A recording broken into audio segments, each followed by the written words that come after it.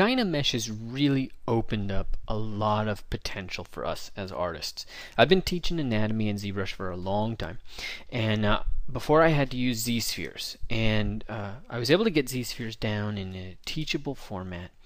But with Dynamesh, man, the world is a different place. Really, really cool place. So let's take a look at an example of how we can go in and start to learn about muscles. Now, this entire skeleton could quite easily be done entirely inside of ZBrush with Dynamesh. Now, in this case, it wasn't, but if I jump over here, this was. And this is somewhere around 45 minutes or so of sculpting. So, there's more work to be done, but we're not too far off at this point. But what I want to show you is not just how you create the skeleton, but I want to show you muscles, because that's a lot of fun. So once you've got the skeleton in place and you're ready to say add a bicep, then we're going to come in and say just append a simple sphere. Okay, I just need to add some piece of geometry. And then I'm going to come down to geometry and say turn on group and Dynamesh. And then I'm going to come over here to the uh, to the brush palette. I'm going to go to curve tube. Okay, curve tube. This is really one of the most powerful parts of this entire equation. Come in there. Okay, Dynamesh is on. So what we're really talking about is we're just clicking on the model and dragging out this stroke. And what do you know? But we're getting a piece of geometry that's ready for us to get in and sculpt. Now this alone would be pretty awesome, but I'm going to show you, you know, a little bit more advanced because keep in mind the bicep is called bicep for a reason. Got any ideas? Why would they call it the bicep? Bi for two, two heads. Okay, and so we've got one head that's coming up over the head of the humerus and then attach right at the top of the, I shouldn't say attached, sorry, it originates up at the top of the glenoid cavity.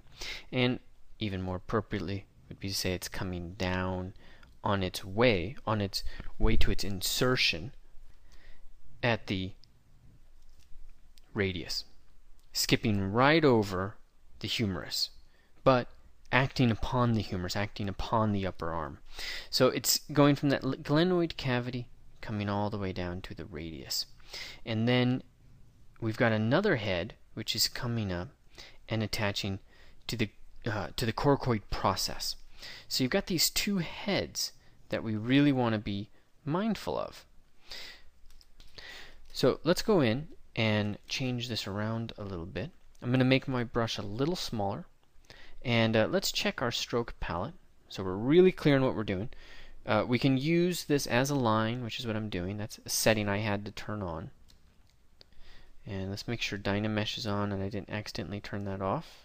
Yeah, we're good. So with transparency off, really important you turn that off, we're going to come in, go from the radius all the way up. And uh, I'm going to go all the way to the glenoid cavity. Okay, and I'm going to come up here and say, uh, let's go to the stroke palette. I'm going to turn size on. So this way, with size, it's going to vary based on wherever I click. So I'm going to increase the size a little bit and click right in the belly of the muscle. There we go. So that's going to cause it to change a bit. It's going to boom, all right, and we're going to get kind of a natural muscle out of that. So that's kind of cool. I am going to come back in here and turn bend on though.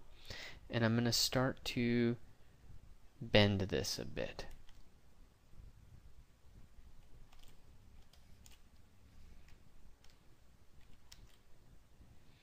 Okay, it's going to really mess with. In fact, I got to move that back and then pull that out.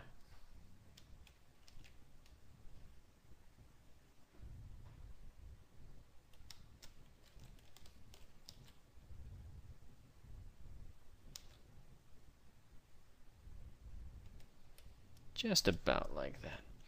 Okay. All messed up, right? But no worries. Just going to click here.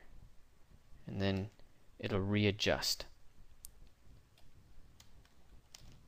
Okay, let's delete that curve. I'm going to start to treat this as though it is a separate piece of geometry. Uh, smooth that tendon out.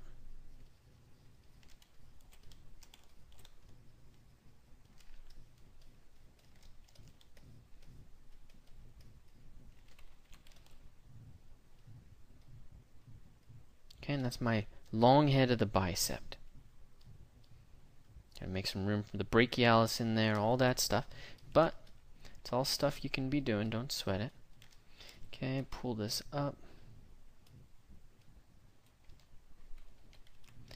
And uh, let's go a little bit thinner.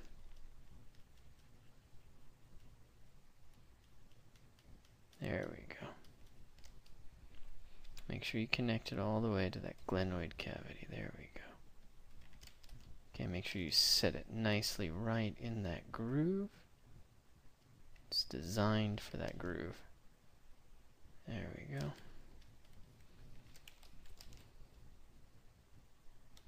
Alright. So we've got that little part of it established. Now let's go in and get the other part of this established.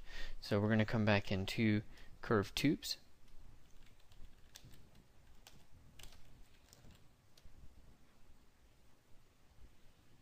Coracoid breaking the Coracoid process. Okay. Endpoint, move that endpoint in, turning size off. Don't want size to be a factor here. Just want point A to point B to be kind of set up. That's the most important thing for me in this equation. Okay. Yeah. Invert. Really want to make sure that that insertion gets handled. Okay. And now inflate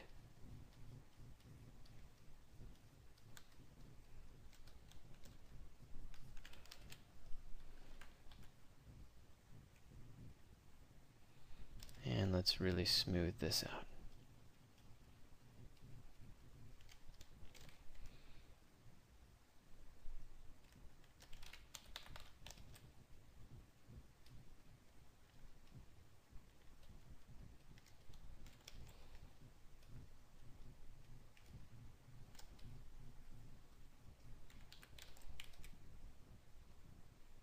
Uh, I can go in, delete that curve mode temporarily. And we can just make these guys really mesh.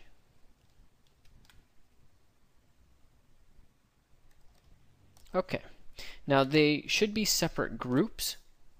And in terms of Dynamesh, I have group on. But I can turn that off and get these guys merged into this fairly complex shape.